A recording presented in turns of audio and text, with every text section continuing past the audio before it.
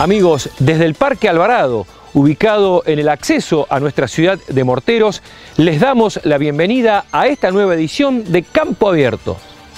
Comenzamos el programa de hoy en diálogo con Eduardo Arano, que en la jornada de Tecnal disertó acerca de los animales que ingresan a un fieldlot.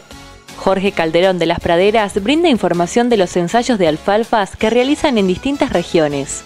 Daniel Parisini del Banco Francés describe los servicios que brindan en Santiago del Estero. Gonzalo Turri de la cooperativa Alemán sintetiza el año productivo financiero de la institución. Anselmo Enrico y Gabriel Pisani de la Casa del Tambo dan detalles de la sembradora Apache 27000. Juan José Garis de la Cooperativa Ganadera de Morteros se refiere a los servicios que ofrecen a los productores agropecuarios. Julio Bianciotti de Porpla comenta atributos de los barrales de fibra de carbono de equipos PLA. Por último, Rodolfo Gil, en el Congreso Nacional CREA, analizó las distintas alternativas para la conservación de suelos. En la jornada organizada por Tecnal Nutrición Animal en Suardi, provincia de Santa Fe, dialogamos con el médico veterinario Eduardo Arano, que nos comentó los procedimientos a realizar al recibir los animales en un feedlot. Tenemos que tener en cuenta que cuando se reciben animales en un feedlot, muchas veces esos, esos animales están estresados, por no decir la mayor parte del tiempo. O sea, el viaje en camión es algo que los animales los estresa, es algo que no conocen, y más aún si eso no se hizo en forma adecuada, de acuerdo a los protocolos de bienestar animal que hoy en día se, se, están buscando. O sea, embarcar los animales en forma tranquila, sin gritos, sin picanas, sin perros, con instalaciones que los animales fluyan bien hacia el camión, que el camión tenga un viaje agradable, no parado al sol durante tres horas mientras el camionero come, que sea hecho en horarios con temperaturas que no sean extremas. Todo eso hace que muchos animales llegan cansados, estresados. Entonces, ¿qué es lo primero que hay que hacer cuando llegan los animales? Hay gente que dice, bueno, hay que procesarlos, o sea, pasarlo por la manga. No, lo primero que tienen que hacer es descansar. Y para descansar, tienen que tener un lugar apropiado limpio, seco, con buen agua, fresca, donde se puedan echar. El descanso debiera ser, hay una regla de oro, aproximadamente una hora de descanso por cada hora de viaje que tuvieron. Ahí sí viene el procesamiento, que incluye la vacunación para complejo respiratorio bovino, la vacunación para enfermedades clostridiales, la desparasitación de los animales. Y existe la posibilidad de poder hacer a veces un tratamiento masivo, ya sea en el alimento o inyectable, con antibióticos, cuando tenemos animales de alto riesgo que vienen de feria, que están muy estresados, y ya cuando llegan vemos que algún animal está enfermo. Si cuando llegan ya vemos que algún animal está enfermo, quiere decir que hay muchos de esos otros en la tropa que están incubando la enfermedad, que harán una enfermedad clínica o por ahí subclínica, pero que van a tener un daño en el pulmón que se va a reflejar con una menor ganancia de peso. El señor Jorge Calderón, que pertenece a las praderas Semillas Forrajeras, nos habla sobre la adaptación y los ensayos que ellos realizan sobre el cultivo de alfalfa en distintas regiones de nuestro país. Más allá eh, de, que un ensayo permite llegar a los distintos productores de, todas las áreas este, de producción de Tambera, eh, nos deja la posibilidad de poder recolectar individuos de distintas zonas, con distintos ambientes, los mejores individuos, para que eh, los genetistas puedan lograr una mejor selección de materiales. Eso te lleva a que cada año logres alfalfas alfalfas que se adapten mejor y sobresalgan a los distintos tipos de suelos o a los suelos eh, más pesados que podemos llegar a tener. La LPS 9500, que es eh, una alfalfa relativamente nueva, que está dentro de las tres primeras en las redes de ensayo de la Cámara y del INTA, de la Cámara de Semilleristas y del INTA, eh, ha demostrado tener una excelente resistencia y tolerancia a, esos suelos pesados que se aprietan y que no dejan vivir a, la alfalfa común que se viene vendiendo o se ha venido vendiendo en estos últimos años. Es una una diferencia muy grande eh, contar con una red de ensayos eh, y testeo de materiales desparramados en toda la zona productiva. Justamente hemos visitado un eh, lote de ensayos de, distintas variedades muy cerca de Marco Juárez Nos gustaría que nos comentes el comportamiento que tuvo la alfalfa que producen ustedes. Bueno, ahí justamente se dio un año muy, muy, muy malo con los dos extremos. Eh, una época de una seca muy prolongada en el invierno y un verano muy lluvioso, donde compactó los suelos y hizo eh, realmente desaparecer el grueso de los, de los alfalfares que estábamos testeando, eh, haciendo notorio a los pocos materiales que sobrevivieron a esas condiciones. Ha sido un año muy difícil para justamente para los lotes de alfalfa y va a ser necesario una implantación, una renovación de, de muchísimos lotes, no viejos sino también nuevos sembrado en los últimos años. ¿Y cómo se comportó la alfalfa de ustedes? La 8500 fue espectacular. Está no intacta, pero está sobresaliente con respecto al resto de los materiales. Las imágenes que estamos viendo corresponden al mes de septiembre. Convengamos que estas alfalfas tuvieron heladas también, ¿no? Estas alfalfas tuvieron un invierno sequísimo con muchísimo frío. Este, tuvieron un veranito de dos semanas que hicieron que explotaran y realmente están a la vista cómo se comportó y cómo sobrevivieron a este año tan difícil. Siempre hacemos hincapié en la calidad de la semilla, hacemos hincapié en que respetamos esa calidad desde el mismo inicio hasta el momento en que llega al comercio distribuidor, el respaldo tecnológico que nos dan nuestros proveedores de genética y el amplio, las amplias facilidades de financiación para que esos materiales puedan llegar a ser comercializados. En, ese punto tenemos un, muy buen paquete de, de herramientas financieras que pueden hacer que las alfalfas sean accesibles para todos.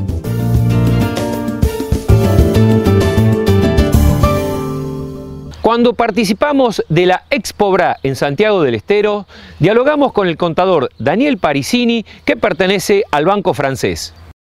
Bueno, en este momento se está trabajando mucho con la Visa Agro del francés, eh, con su característica particular por encima del resto de las tarjetas agro, que es eh, la sumatoria o acumulación de kilómetros LAN.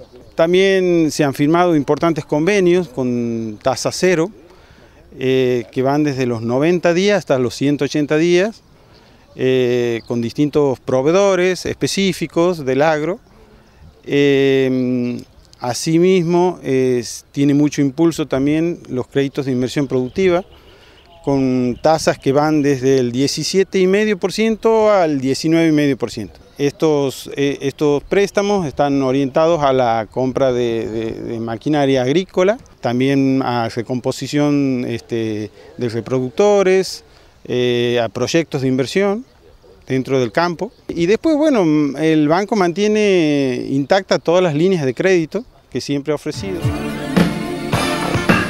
Amigos, así concluye el primer segmento de nuestro programa. En instantes regresamos con más información. Tecnal.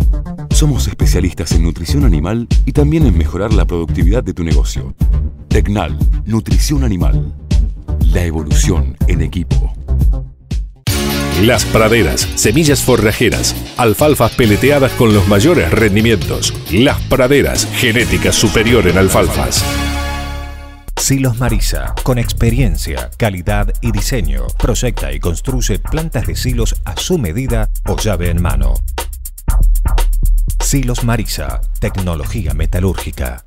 Linda, líneas de tareas agropecuarias, estudio de suelos, aplicación de fertilizantes con dosis variable, insumos. Linda, agricultura sustentable. Fábrica de estructuras metálicas Zuligoy. Servicio de grúas y carretón para transporte. Zuligoy, con años de experiencia y tecnología de avanzada. San Solar provee sistemas de extracción de agua equipadas con bombas sumergibles Grundfos, alimentadas con paneles solares. San Solar, la energía del presente. Cooperativa Guillermo Lehmann. Todo lo que usted necesita en un solo lugar. Durante el transcurso de la Asamblea General Ordinaria que realizó la cooperativa Guillermo Lehmann, dialogamos con el gerente general contador Gonzalo Turri. La Asamblea General Ordinaria es uno de los momentos más importantes de la vida institucional de una cooperativa, porque nos permite a nosotros este, eh, trazar un poco una, línea, mirar qué hemos hecho en los últimos 12 meses, este, mostrarle a nuestros asociados cómo ha impactado la operatoria comercial en los grandes números de, la cooperativa y un poco rendir cuentas contarle lo que pasó y mostrarle también cuáles son los proyectos de la cooperativa futuro. Mirá, la cooperativa en definitiva es una caja de resonancia de lo que le pasa a todos los productores, pero una serie de medidas que ha tomado la cooperativa a lo largo del año tratando de acompañar al productor en los difíciles momentos con un pequeño granito de arena que ayuda a empalmar ese difícil invierno que atravesaron los productores con una primavera que pensábamos que podía ser un poco más optimista arrimó a una cantidad creciente de productores a la cooperativa y por ese motivo hemos terminado redondeando un año de una operatoria comercial superior en un 35% de la del año anterior, con una facturación de más de 1.200 millones de pesos en el año y que eh, no nos debe hacer perder de vista el, el, rumbo correcto de la cooperativa, en el sentido de que el año próximo podemos operar 5 millones menos o 40 millones más, pero no podemos perder de vista el criterio asociativo, los valores cooperativos y tener en cuenta que los verdaderos dueños de la institución son los productores, los asociados y que tenemos que trabajar codo a codo con ellos, este, tratando de serles útiles y que canalizar las inquietudes de ellos y a través de soluciones colectivas este, responder a problemas que pueden ellos tener. Vos lo nombraste, el productor este año necesitó de la cooperativa, ¿no? Sí, realmente ha sido un año en el cual fines de diciembre del año pasado y enero la seca se llevó prácticamente todos los maíces de primera y después del 20 de enero en adelante empezó a llover a tal punto de que hasta el mes de mayo había llovido más de todo lo que llueve en el año, muchos cultivos este, de, de la gruesa se, perdieron, eh, las pasturas prácticamente en su totalidad, los tambos quedaron sin reservas y ahí fue cuando la cooperativa entendió que debía decir presente, estar al lado del productor con acciones concretas eh, y, eso creo que, el productor lo terminó valorando y cuando vemos la cantidad creciente de productores que comenzaron a operar, eh, confirmamos una vez más la sinergia que hay entre el productor agropecuario y la cooperativa Lehman a lo largo de estos últimos 63 años. La cooperativa hoy tiene socios en 14 provincias de Argentina, en 371 localidades de nuestro país hay al menos un socio de la cooperativa. Y tenemos una presencia regional en el centro de la provincia de Santa Fe muy firme, muy importante, todo lo que es departamento de la capital, las colonias y castellano, con actividades productivas diversas. Nosotros estamos convencidos de la necesidad de seguir manteniendo este, los tambos de nuestra región. La producción lechera debiera ser una cuestión de Estado. Y bueno, de la cooperativa venimos bregando para, para acompañar a ese productor tambero, respaldar a la ganadería. Dialogamos ahora con los señores Anselmo Enrico y Gabriel Pisani, que pertenecen a la Casa del Tambo de Brinkman, que nos hablan sobre la sembradora Apache 27000. Bueno, estamos presentando, como siempre, la línea Apache. Eh, en esta oportunidad trajimos una sembradora de 16 líneas de grano grueso. Tiene para hacer eh, soja-trigo, digamos, las, do, las dos versiones justamente estamos cumpliendo 40 años, así que seguimos siempre con, la, con el servicio y con bueno, las mejores atenciones que podemos brindar a la gente. En este caso es una 27.000 eh, más de Apache, es una máquina de grano grueso que tiene, tiene varias posibilidades. Una de las bondades que tiene la máquina es la diferencia entre líneas que podés hacer. Se pueden colocar siembras de, inter, de, interlínea a 26 o a 20, según como tengas la máquina configurada, 52 o a 40. Es una máquina que también puede venir a 70 en el caso de que la gente lo requiera. Se caracteriza por, por la fortaleza que caracteriza Apache, la robustez de la máquina. Yo creo que es una de las máquinas más robustas del mercado eh, y lo que más caracteriza a Apache y a la máquina de grueso en definitiva es el dosificador de plano inclinado, que es exclusivo de Apache, patentado, un dosificador que no tiene rasador, no tiene martillo, un, que tiene un tratamiento de semilla muy especial, muy delicado, no daña la semilla en ningún aspecto. Los semilleros más importantes del país lo están usando como máquina oficial de siembra placa, como Don Mario en, ciertos casos.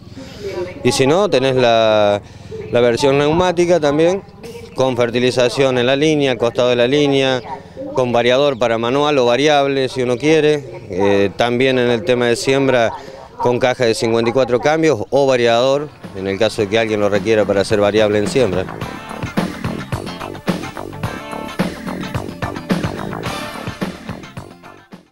La nota que sigue a continuación es con Juan José Garis, que pertenece a la Cooperativa Agrícola Ganadera de Morteros.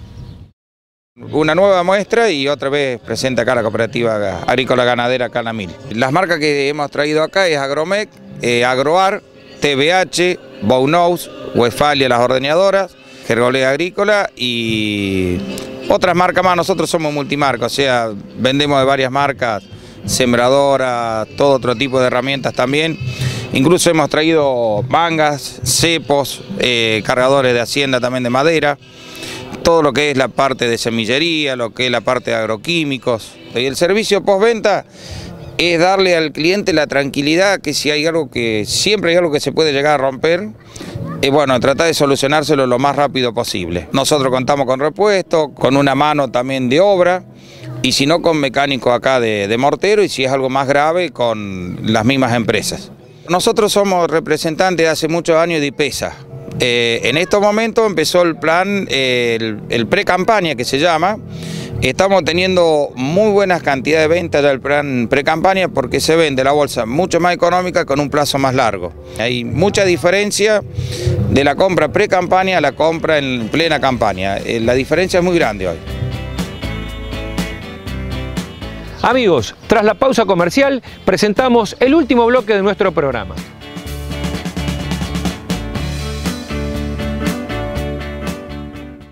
Cooperativa Agrícola Ganadera de Morteros Limitada. Todo para el hombre de campo. Experimente la más alta tecnología de precisión. Apache. Sabemos de campo.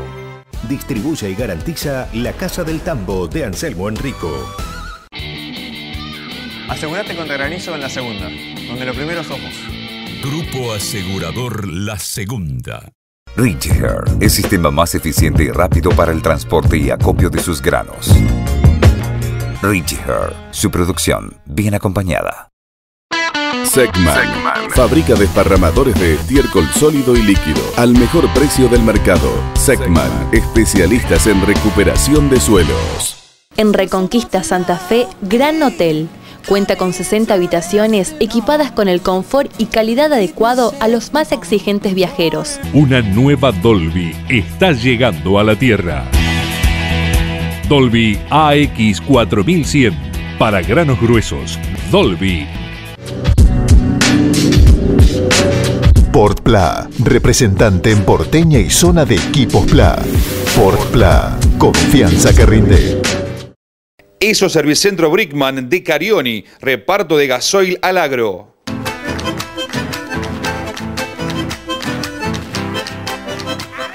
Iniciamos este último segmento de Campo Abierto con una entrevista al ingeniero Julio Bianciotti de la firma Porpla que nos brinda información sobre los barrales de fibra de carbono que tienen instalados algunas pulverizadoras PLA. Bueno, estamos en la MIL un año más acompañando a Mortero y la zona y en este caso presentamos una pulverizadora 3250 con la novedad de la fibra de carbono que para la zona, eh, bueno, vaga redundancia es una novedad y bueno, en esto tenemos un ancho de trabajo de 32 metros hasta 36 y 40 eh, según la opción que quiera elegir el, contratista o el productor que quiera adquirir la máquina. Y bueno, lo que logramos acá es aliviar mucho el tema del botalón en reemplazo de los eh, tradicionales eh, botalones de hierro. Sí, un 50% aliviamos el peso de la máquina y a la vez logramos mayor ancho de trabajo. Bueno, justamente tiene esta característica que es muy resistente al golpe, no hacía la abrasión, a, un roce, por ejemplo, si hagamos un ejemplo con una sierrita. Eh, vuelvo a lo primero, es muy resistente a, un golpe, a, lograr un impacto contra una columna, un poste o un árbol. Y con respecto a la reparación es muy sencillo, mucho más fácil que un botalón común que en 4 a 6 horas, de acuerdo al día, a la humedad eh, ambiente que hay, con un pegamento y una serie de pop, de remaches logramos la reparación sin sacarlo de la, máquina y a, y a campo, no es necesario trasladarse a un taller. En el Congreso CREA a nivel nacional, donde una de las sedes estuvo en Santiago del Estero, dialogamos con el ingeniero Rodolfo Gil sobre conservación de suelos. En, primer lugar, en primer lugar es tratar de identificar o reconocer cuáles son las características del ambiente de producción que tenemos aquí en el NOA, que es muy muy diferente a las características ambientales que tenemos, por ejemplo, en la pampa húmeda. Y bueno, justamente una de las cosas que a veces se dicen que se pampeanizó el NOA trayendo una receta de, la pampa húmeda y eso este, es un tanto peligroso. El punto de partida es este, entender cuáles son las características ambientales. Aquí, desde el punto de vista de los suelos, eh, por su contextura, por su textura, eh, son suelos muy frágiles y la, la, capacidad para que se mantengan estas estructuras funcionales depende, yo diría casi exclusivamente de la materia orgánica y de los procesos biológicos del suelo. En segundo lugar, cuando hablamos de, por ejemplo, Chaco semiárido, estamos reconociendo que el agua es el principal factor limitante. Estamos en una zona con menos de 800 milímetros, pero lo que es más importante aún es que la evapotranspiración, es decir, la demanda de agua de estos ambientes son de más de 1500 milímetros, o sea, el doble. Esto hace que estemos prácticamente en déficit hídrico casi todo el año. En tercer lugar, las altas temperaturas que atentan directamente con la tasa de descomposición de la materia orgánica y también de los procesos biológicos. Entonces tenemos que armar estrategias muy adaptadas a estos ambientes en particular. Si pensamos en la conservación del suelo, pero yo diría más que en la conservación del suelo, creo que a nivel de productor nos interesa la conservación de su capacidad productiva. Creo que se pueden hacer las dos cosas, hacer sustentable la empresa, pero también sustentable el ambiente. Bueno, fundamentalmente lo que nos enseñó la naturaleza, que es utilizar el agua y los nutrientes para convertirlos en biomasa. Esa biomasa, una parte se va en grano con el camión de la cosecha y la otra parte tiene que quedar en el campo para hacer dos cosas, proteger la superficie del suelo y alimentarlo al suelo de su comida que es la materia orgánica. ¿Se está haciendo? Se está intentando hacer. Este, lamentablemente eh, eh, ha venido un paquete, si se quiere, más de receta que de estrategia, que no está adaptado. Eh, sí, de alguna manera este, ayudó mucho la siembra directa, pero no en la forma que se está haciendo, o sea, hay un predominio de una monocultura que no alcanza para recomponer el carbono o la materia orgánica que se decompone y entonces eso hace de que la siembra directa sola no alcance.